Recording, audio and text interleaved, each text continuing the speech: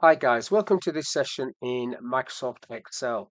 In this module, I want to show you the difference between the XLOOKUP function and the filter function, and also how to use the unique function to create a validation list.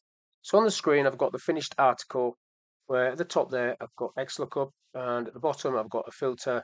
If I select a person from this data validation list, so I'll select myself, that fills that information in by row, the filter function is bringing in all the records for me. I've got conditional formatting set up in this table to show you that there are multiple records there. So if I pick somebody else, for example, if I pick Jones,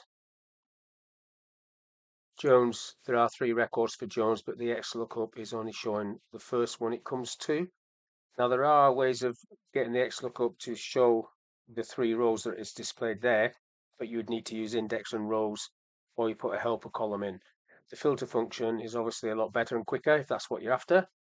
Now on, on this column here, I've got the unique function. So it's just looking down at this list and telling me what these names are. And if I add somebody at the end there, um, that should pick that up. And it's picked that up because that is unique. This is formatted as a table this unique function is called items. I've named the whole column items. So the unique function is picking that up, which is what I want to go through. So on a new sheet, let's have a look at this. So first of all, I've just got my name typed in there. There's no lookup. I'll use a unique function. So over here equals unique.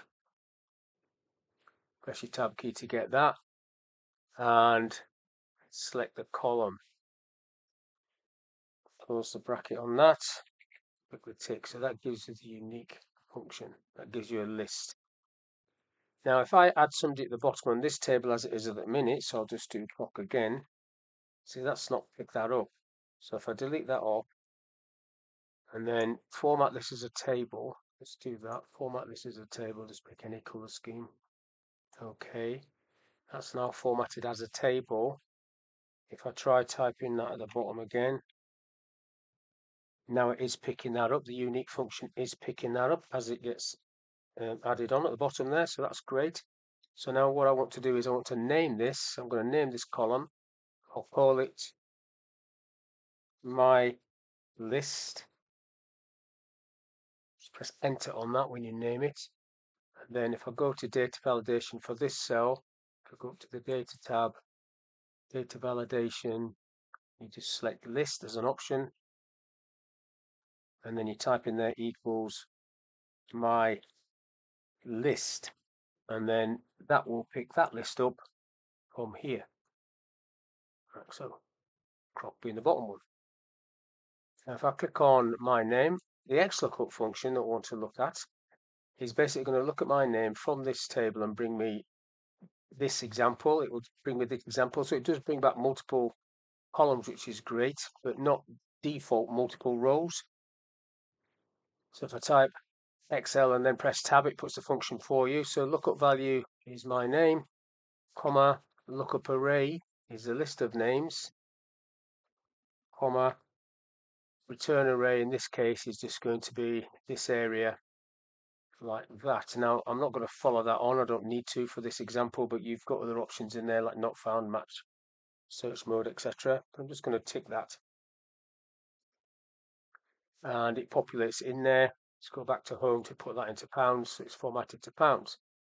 So that's great. Now, in this one, I want this cell to equal that. I could do a, another VLOOKUP or I could do a data validation, this should I say, but there you go. Now I want these headings copied down. So you can move things like that and then just hold your control key and that will do a copy for you. And then underneath this is I want to use the filter function. So obviously there's multiple rows for my name. So equals filter, pressing the tab key to get the bracket there. So I need to select the whole table. So whole table, comma, if the name column, so highlight the name column, is equal to that cell there. And I'll just tick that and then it drops that information in for me. Now, what I've done there slightly wrong is I've grabbed my name as well, so I'll just do that again. Delete that off. I don't want to grab my name, that's why it's shot over there a bit. So it's equals filter, press tab.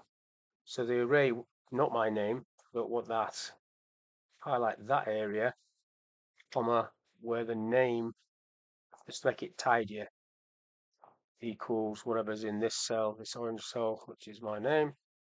Clicking the tick on that, and it brings the multiple items in. Now, in the other example on the other sheet, I had this coloring up, so let's do that one, the last thing. So if I highlight this, go to conditional formatting, manage rules. There's a rule that's there at the moment, I'll just delete that. If I go new rule, formula option, so I'm clicking on that cell, and then basically I'm clicking on the top left hand cell here, and then I'm taking the dollar sign off there, so there's only one dollar sign on the letter A and I'm going equals. I'll pick that cell because that's the one that's going to change. And then format amber. So I want these to color up amber. Okay to that. So they now color in amber. So if I select that different person, I'll go for Jones. Jones. If I have more than one Jones, pull them down, they'll all go green. And this is reacting. And you can see how that works. I'll pick somebody else, Cooper, and then just select Cooper from this list. I'll just type it actually. Cooper, and then you can see how that came in there. So if I type Sax, Saxton, press tab, it does that. If I type Jones, G-O, press tab, that comes in as well. So that's just a quick video of how you can use or how you can see the difference between XLOOKUP, what it does in its basic form, and how, how much better I think for bringing multiple rows back the filter function is. And I've also used the unique function to grab a validation list from my main table where I've got duplicate information. So hopefully this video has been of use. Thank you for your time and I'll catch you on the next one.